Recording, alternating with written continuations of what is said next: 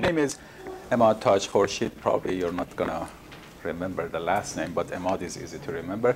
I'm one of the investigators of the nanobio node here and also affiliated with some departments. So I'm a computational structural biologist by training, so I will be just talking a little bit about the field where we are, especially since the idea of today is for you now to move into biological system and see how we might be able to integrate and use biological systems into the kind of measurements and computational tools that you have been using or you have used yesterday. So, so as you will see, the field of structural biology, we are going to emphasize two aspects, structure of these uh, machines or devices or these complexes, as well as their dynamics. So these are the two major aspects that uh, uh, we would like to understand because they allow us to characterize mechanical properties of the system, to be able to modify that, modulate that, understand it, how it's function, et cetera, et cetera. So uh, again, I'm uh, going to just go through some motivation why we are interested in this area, and then some examples of where the field is, what kind of uh, um, results and data you might expect from, uh, from this kind of uh, tools. So why are we interested in doing a structural biology at nanoscale, so you might ask, and I, I, guess for many of you it might be obvious, but there are lots of mechanisms in biochemistry, molecular biology that we need to understand at a, at a chemical detail, at, a, at an atomic resolution at least, sometimes, sometimes actually going beyond that, quantum mechanically, for example. So we would like to understand biological phenomena at a, at a high resolution. That's, that's the gist of it. But then that becomes important for the molecular basis of diseases, why a particular mutation in a pro protein causes malfunction of a protein and then causes diseases. Can we correct that? That drug design is obviously an area, a very important area where you need to get into the atomic details. So this is actually a structure that I use uh, in, in my pharmacology class. I used to teach pharmacology, where it shows binding of a drug, antidepressant drug, to a serotonin transporter. So you really see that where it binds, how can you actually modify this binding. This is actually zoomed in view of interaction of this drug with this environment, how a mutation of a residue might affect binding affinity of this mo molecule. Can I come up with a different lead structure here, or can I modify this to cause uh, to, to produce derivatives that might be more effective, et cetera, et cetera. And of course, I think probably most related to your interest is actually nanobiotechnology, where we would like to use these biological molecules and systems in the design of our devices, or sometimes you would like to characterize these biological systems using chemical, spectroscopical, or other engineering methods that you, you employ. So other areas, these are static structures. Obviously, we are also interested in dynamics. So that's, uh, again, that's a, that's a pretty old paper now. Uh, this was the first example in which we actually showed how a drug, a small, any small molecule might bind to a binding site in a completely equilibrium manner without applying any forces. So, and they, as you can see, there is a really a kind of dance. As the small molecule reaches the binding site, there is a large rearrangement of the binding pocket in response to drug binding. So it would be very difficult to characterize this, all these steps involved experimentally. So this is actually ADP, uh, and it's binding to its carrier protein in mitochondria. It is produced, since ATP is produced inside the matrix, it is transported into the cytosol and it converted to ADP through chemical reactions. And then ADP had to be, had to be trans, has to be transported back into the matrix to be converted to ATP. And this is done by the protein called um, a, a, carrier, a mitochondrial carrier. And that was actually no, not known experimentally. What is the bound state of this protein? And through this uh, uh, simulation work, this computational work, we could characterize actually the, the binding. We can look at more complex processes. This is actually really interplay with, between mechanical work, what is happening in this, uh, this is the bottom view of ATP synthase in which a sort of central stalk is uh, turning due a torque generated in the, in the membrane, and that is caused by proton transfer across the membrane. And this torque is now used to change the conformation of these domains where ATP is actually produced from ADP and PI. So this is the coupling, how mechanical work is transformed into chemical energy that will be now stored in the cell. So again, as you can see, this is uh, using computational models, we can provide the most detailed picture of how this happens in, in a dynamic manner, all the steps involved, et cetera, et cetera. So that's really the kind of view we would like to bring to the, the, kind of picture we would like to bring to the table so we can really have a very detailed understanding of how this thing works, how this machine works, and hopefully we can get inspired for our biotechnology applications. Many of these things cannot be achieved experimentally. Of course, I mean, doing computational work, you are living in a, a virtual world, so lots of parameters might be wrong. You have to always work closely to experiment to have to anchor your work in reality. But there are many things in, in, in this kind of simulations that cannot be achieved experimentally because they cannot have the spatial and temporal resolutions required for such descriptions. But again, working together, they can be extremely powerful. And this is, again, another example of a transporter. And you see, this is a protein that undergoes this kind of motion in order to be able to bind a drug from inside the cell and pump it outside the cell. This is a multi-drug resistance protein that is overexpressed in cancer, actually, in many cancer cells. Again, I mean, the idea is to understand all the conformational states that arise during the function of this protein to be able to maybe um, find a better drug, more specific drug that only acts on this, on this protein. So oftentimes in drug design, you have one structure and you try to search through a database of chemical compounds to find a, a molecule that specifically interacts with this protein. And of course, if you know multiple conformational states of the same protein, you have a much better chance to find a specific drug only acting on this protein, for example. So, and of course, I mean, in terms of nanotechnology, again, um, uh, I have always used these couple of slides when I want to make a case why we need to have a very detailed description of the, of the design of the device that we are uh, uh, we would like to have. So this is a good example. So this is a microfluidic sensing device that in which you have some antibodies decorating an, an organic surface, glass or uh, um, could be carbon-based, and then you're going to run actually your blood sample or sample from humans in which you might have viruses. And these viruses are going to interact with the surface with these antibodies that are decorating the surface. And if they match, if they, you have the right virus, then you can actually detect binding of these particles to the surface using other measures. And again, this is again when you're designing this, that is the model you would be you would be working with, right? Which gives you no prediction power and essentially because you don't know this is actually a hand-drawn uh, schematic. Whereas what we would like to have is a real physical model. These are all atomic description of the surface of the glass in this microfluidic. You have polyethylene glycol uh, pieces randomly at random length and random conformation decorating your surface. And excuse me, some of them, again, based on the density that you might know from experiments, some of these pegs are connected to uh, full atomic uh, models of the antibodies. so this is really now you can actually start asking questions. How many of them are going to stand out, sort of stay standing? How many of them are, might, might interact with each other? Might, is it the right density? Should I decrease the density? So this is really the first model that was actually generated by the kind of tools that you are going to try today, allowing you to functionalize the surface using a different variety of chemical compounds, moieties, and then add a protein if you would like to. So that, that's the kind of model we would like you to be able to generate. And then you can actually take this model, maybe coarse grain it or take it to a sort of more coarser representation and use it in your plasmonic calculation. So that's the kind of experience we would like you to have today.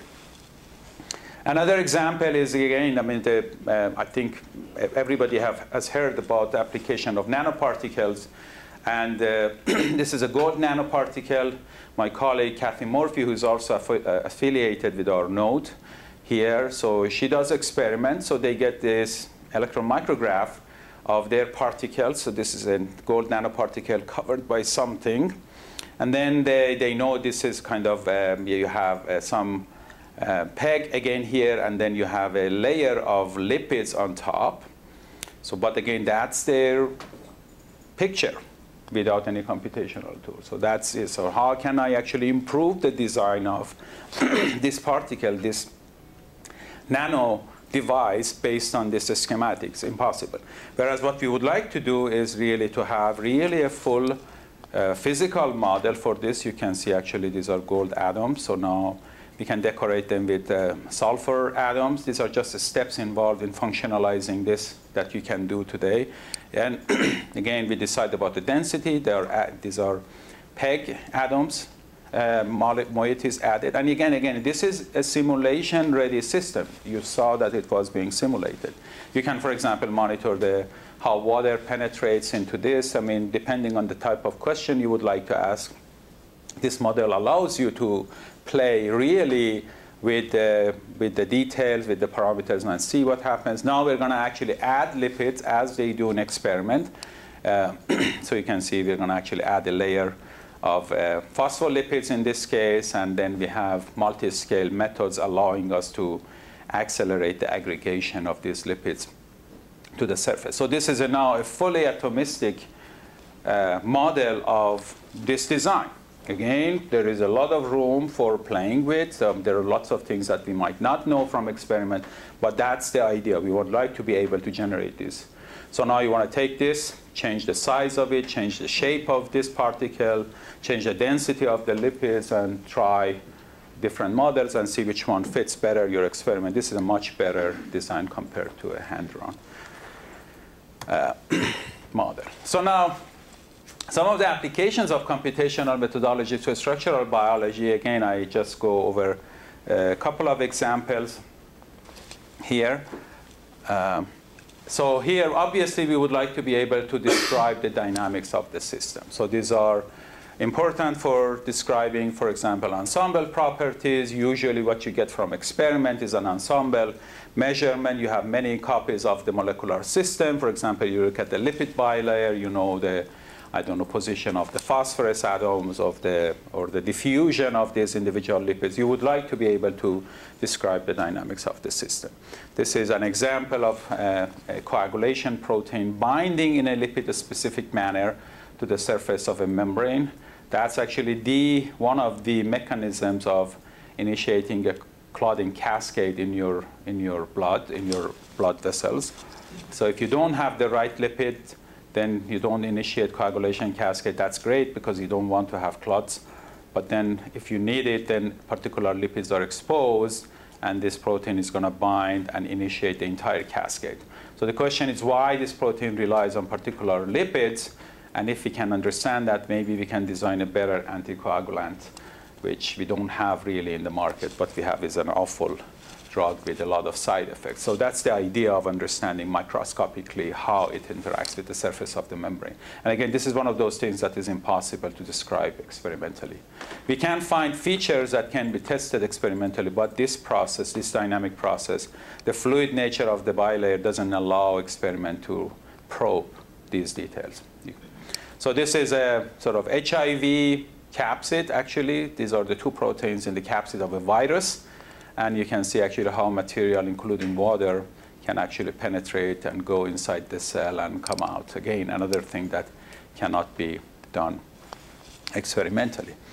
So yeah, so we want to understand the underlying function. We want to have, understand microscopic behavior and, uh, and also compare directly in some cases to experiment where we have ensemble properties. So this is actually a more recent um, example of um, of, of, our work that just came out in Nature, collaboration with an experimental and computational lab.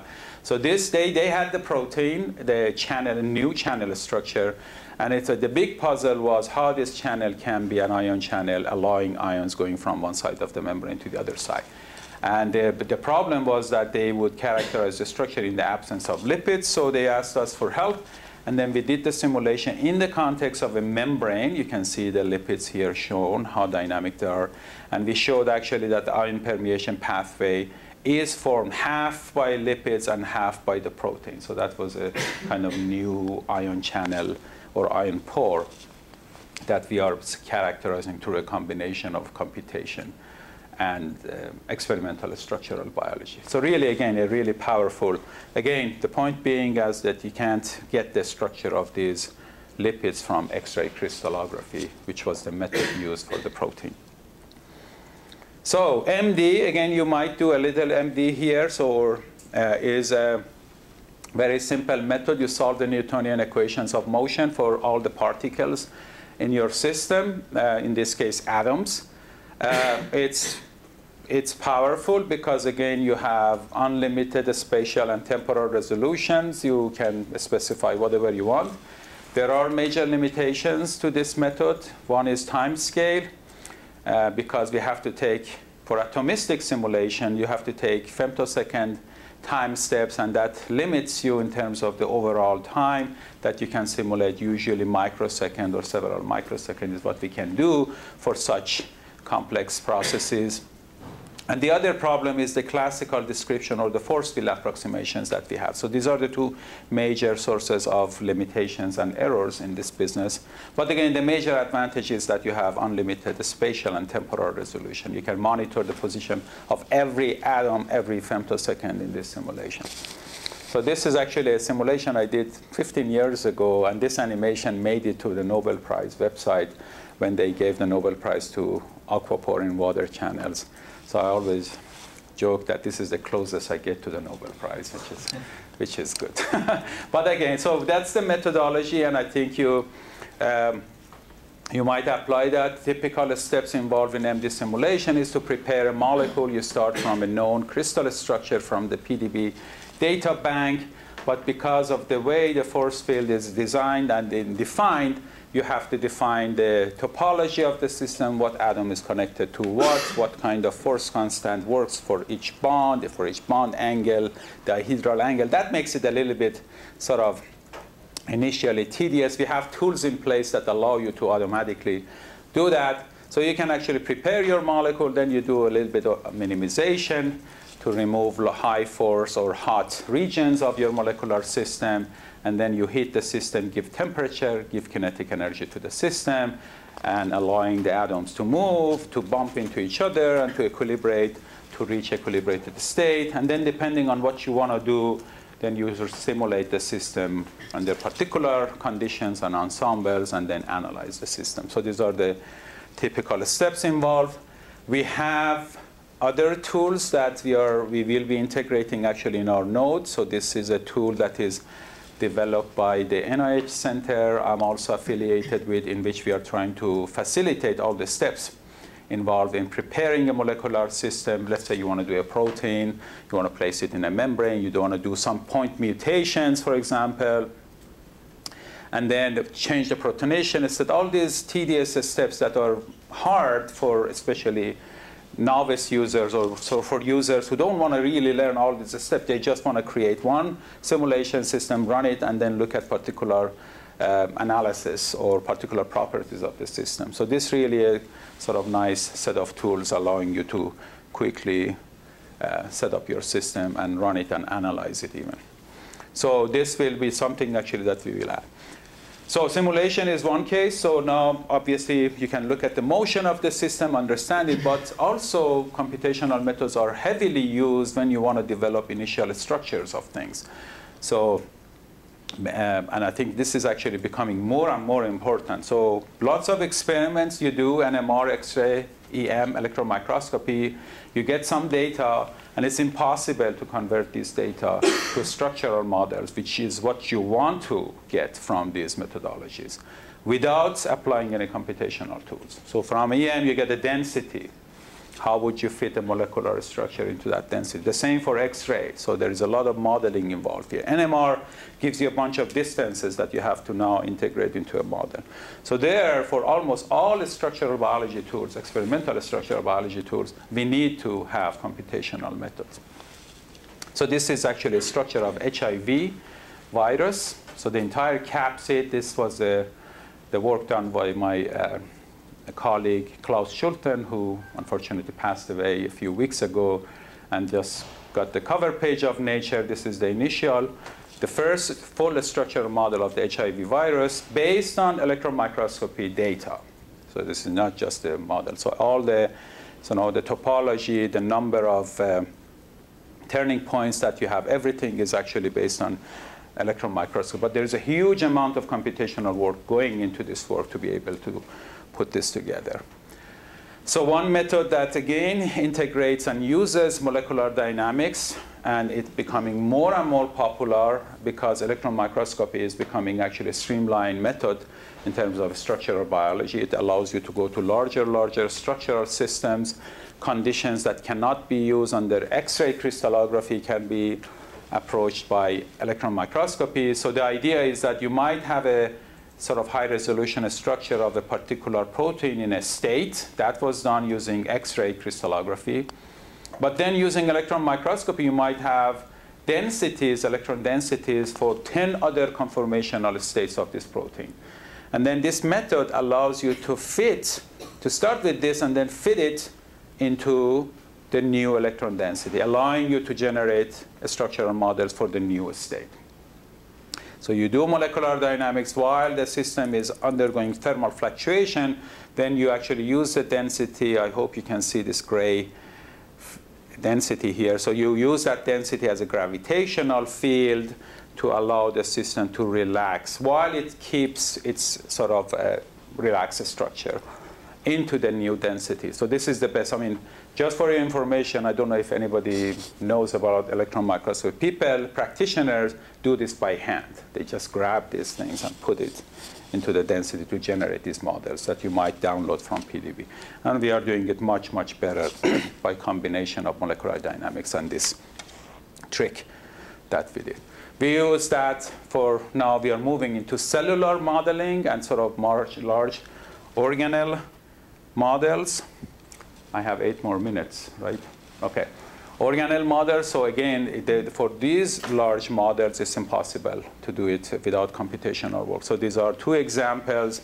This is a photosynthetic unit of, of uh, plant cells called chromatophore, in which you have a large number of proteins uh, that absorb light and convert the light to a proton gradient across this membrane, and these proton gradients are then used by the ATP synthase, which I showed you actually, the rotary machine to produce ATP.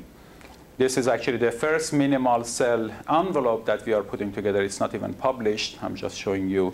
I might have some details here on that. No, never mind. But again, we are trying to put together a realistic model of the membrane with um, more than 10 different proteins that are essential for, for putting together uh, for having a minimal functional cell. So again, I mean, you can see structural biology is moving into cellular systems, and for those, it's impossible to do anything with, without these computational tools. Again, another example of a bioenergetic membrane is starting with experimental data, in this case AFM, and electron microscopy actually, and then integrating all the experimental data into a membrane with 4,000 copies of the protein. We have an atomistic model of this thing. You can, of course, coarse grain it to run faster simulation. You can, of course, have a continuum description of this protein, et cetera, et cetera. But we have all the tools in place to be able, if you have atomistic questions, then here's the model. Here's the best model we can, we can use. Another example of integrating actually experimental data, this is actually a structure of um, endoplasmic reticulum. It was solved experimentally. It's known as the Terasaki ramp because of this particular shape at the junction. The junction, it looks like a garage ramp that you go up that is optimal for, for the membrane to maximize its surface area in the cell. And again, you can see we have, we, we have a very realistic model based on experimental data in which we are placing individual lipids. The final model is actually more than 4 billion atoms, which is uh, the largest atomis atomistic model I'm aware of. It's, we have a hard time actually loading this into common visualization programs. We have to do tricks to be able. But again, so again, this is the, the, the, the area where we are moving in. Coarser representation of this would be no problem. I think this would be one of the good examples of applying sort of coarser experimental methods to characterize properties of this. And then bring back those experimental data into these models and make them even more realistic. Uh, so time scale is, a, is, of course, I mentioned as one of the main uh, limitations here. So one area that it has been explored and we continue to work on is multi-scale simulation. So by going to different scales, you can actually, you might be able to describe processes a little bit more efficiently. So in this case, we are interested in the fusion of uh, vesicles that carry neurotransmitters inside the neuron as when the electric signal comes then you have to merge, fuse these vesicles into the membrane to release the neurotransmitter that is uh, stored in them. And the neurotransmitter will go on, act on the receptor in the postsynaptic cell to excite the postsynaptic neuron. So the idea is how does the fusion take place? And again, this is a very slow process. We have to move to other scale, coarse graining, and even combining it with. So here you see the vesicle and how the proteins are going to facilitate fusion of these two membranes. Now we are using actually a coarse grain Martini, for those who might know, kind of description of the molecular system to describe the process because atomistically it would be very slow. Uh, here is again another example of how we are looking at the coarse grain lipid system. We can actually make it much more co coarser than this if you're interested in other phenomena, and then in which we are looking at the reverse of the process, so budding in this case. And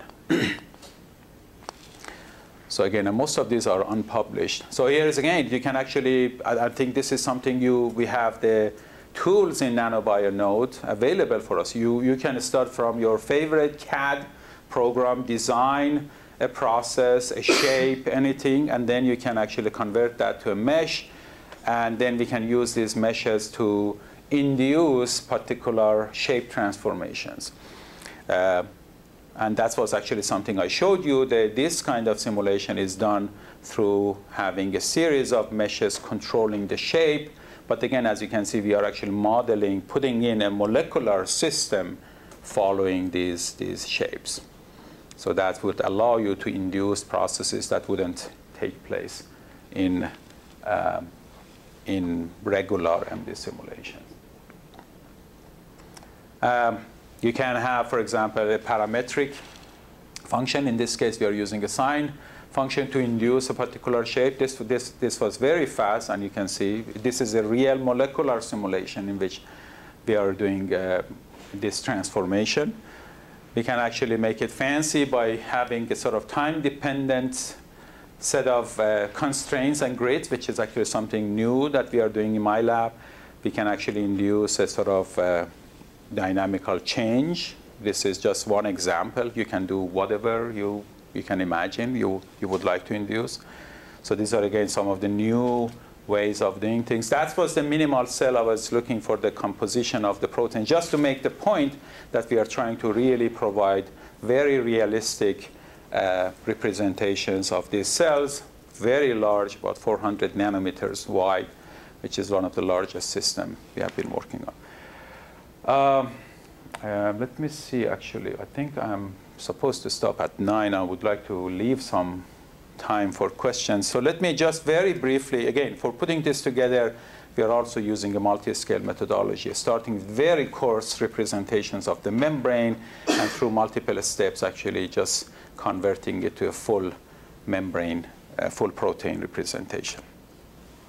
Non-equilibrium methods is another area where we are trying to address the time scale, so you can't wait for such processes to take place on their own and therefore you have to go in and apply forces or define protocols to induce transformations to be able to, um, to describe processes.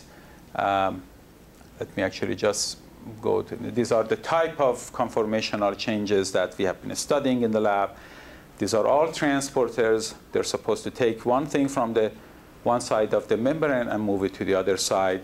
And they do these conformational changes using different sets of structural transitions. And we have been able actually to describe. These are all millisecond at least or slower kind of time scales. So impossible to do atomistic. And I think the point is for this system, we need to do this atomistically because we are interested in how binding of an ion or a substrate controls the conformational state of this, of this protein. So I can stop here. Uh, uh, oh. Oh, okay, great. Okay. So let me actually then, please, if you have any questions, feel free to interrupt. I know it's more general overview, but, but okay, so let me then continue now that I have more, more time. So let, let me skip this. We developed actually a method. The idea here is you have, you might get one state that you're interested in from experiment. You might get the other state. The end states might come from experiment. But we are really interested in describing the transition between the states. And uh, oftentimes you can actually bias the system in a particular direction. You can say, let's go from this valley, Telluride, to Mountain Village. I gave this talk actually first time in Telluride, so you know it's a valley, low minimum, low energy state. This is another low energy state. Let's draw a direct line, but, but that might take you over the top of the hill here, very high energy state, which means it's it's not real. So there are lots of computational methods allowing you to refine this initial guess and to get a better sort of pathway. But if your real pathway is very far from your initial guess, there is no way to actually um, recover that from your computational work. So what, what, what, what we argued was that actually let's actually search this space much more thoroughly, well, as thoroughly as you can do. So like instead of doing one simulation, we are doing 100 or 200 different kinds of simulations, taking different paths, uh, taking different reaction coordinates or collective variables, technically speaking. And then if you did that, then you have a better chance to at least cover parts of the real white pathway connecting them. And through this, you can actually then have much more realistic, much more reasonable pathways connecting the, these two states. This is a general problem in computation, describing conformational transitions between the two states because these are very complex for, for proteins. Uh, again, we had to put all these new collective variables in our simulation program. You can actually play with the radius of gyration, for example, any orientation quaternion you can include in, the, in your time-dependent potential, in your biasing potential, to drive the system from one state to another.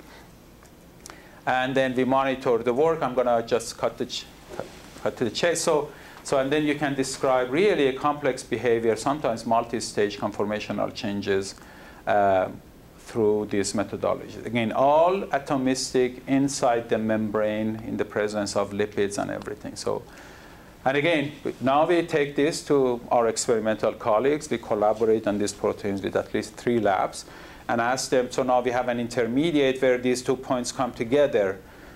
Let's put a cross-link agent there and see if we can trap that intermediate. That would validate our, our computational model. So that's the idea to, to get ideas about experiment. And then again, for I mean, just to, we can also get free energy profiles. This is uh, this was the experimental sort of artistic rendition, completely schematic of how a transporter should function. So in the absence of a, of a substrate, you should have a high energy transition or barrier against the transition between the two states. But then in the presence of the substrate, this barrier is lowered, and you should have this picture. And you see, I mean, there are no numbers for the experimental schematic here, and this was completely schematic. But then here you can see the real data coming from our computation and or from sort of path uh, sampling. In the, in the absence of the trans, uh, substrate, in the apo state, you have a high energy for the transition state. Once the substrate binds, you have exactly kind of features that were thought should be um, um, features of the free energy profile. But again, you have the numbers, the numbers are perfect, and this is all done in the explicit representation of the membrane in a real, in a very realistic environment for this protein. So we are looking at other, again, how I apologize for this mess up, but the, the point is we are looking at other kinds of transitions of proteins inside the membrane and trying to characterize their uh, free energy state. So finally, this is just another example of how, again, when you are doing computational work, of course, you can play God, you can design whatever you want, and this is a very powerful aspect of com computational work. You can test hypotheses that cannot be tested experimentally. You can have a negative sodium ion by just changing a number in your uh, simulation setup. You can have something that is 100 times heavier by just changing the mass. So you can really play with this and test sort of ideas. That's very powerful. Just experimentalists do that. I mean, you know, you want to uh, you have done a protein in order to prove that the, the mechanism is right. You have to go in and do some mutation, something change, change something, and show that your process was affected. We can do such things also computationally. And this was a, so a model that we developed because we were um, we wanted to have atomistic representation of the head groups of a membrane because that's where most of the proteins we were interested in were interacting with. But uh, we did what, but the lipids are very slow. So what, what we argued after three years playing with different models was let's get rid of the core of the membrane. These long lipids, the structure of a lipid is shown here, are very long tails, they entangle, and that's a major factor to contributing to their slow diffusion. So what we argued was, so let's keep the head group, make them surfactants for the chemists in the audience, and then the core part, we're going to replace this with an, with an organic solvent that has the same chemical properties as these tails, a hydrocarbon essentially, a liquid hydrocarbon. In fact, they have fake in silico liquid hydrocarbons because you cannot have a small liquid hydrocarbon. Ethane, propane, these are gaseous species. But can, we can play with the interactions, potentials to keep it liquid and then we call actually a bad acronym, hmm, highly mobile membrane mimetic model. Um, we are stuck with that acronym. I don't think there is much we can do. But so the, the, the point being is actually that it is atomistic. If you are interested in atomic details, we can give you those details. But then it has high mobility. Uh, yes, it is shown here. So if you compare, look at the top view of your simulation system. This is a conventional membrane, and this is our HMMM membrane, 10 nanosecond, and this is 1 nanosecond, 10 times shorter. Here you can see individual lipids are not going anywhere, they're just shaking where they are, whereas here you can have the actual mixing of the lipids, which is a very difficult aspect to converge in simulations atomistic, still atomistic, that was the key word here because I want to see how these head groups interact with my protein coming in. What happens to them when the protein comes in, how they aggregate around my protein, why black lipids are necessary for binding of my protein, etc., etc. So much, much more mobile.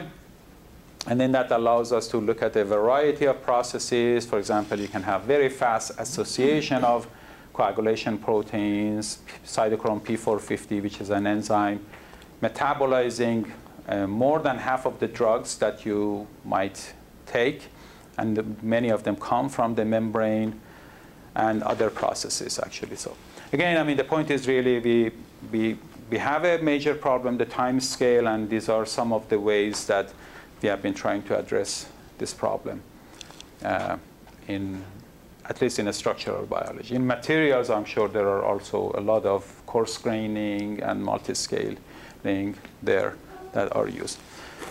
Okay, so. Uh,